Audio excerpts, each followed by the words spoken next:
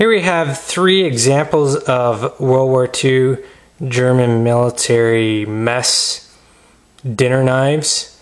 Uh, one example in particular is kind of neat. It's got the Luftwaffe eagle on it.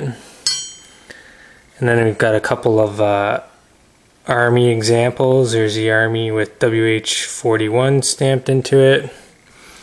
And this is yet a different version which is got some other kind of markings on it.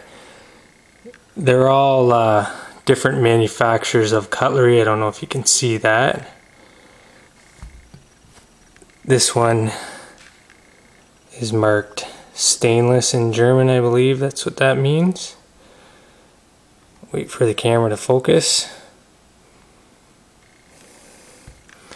Again, some uh, different examples of World War II German cutlery.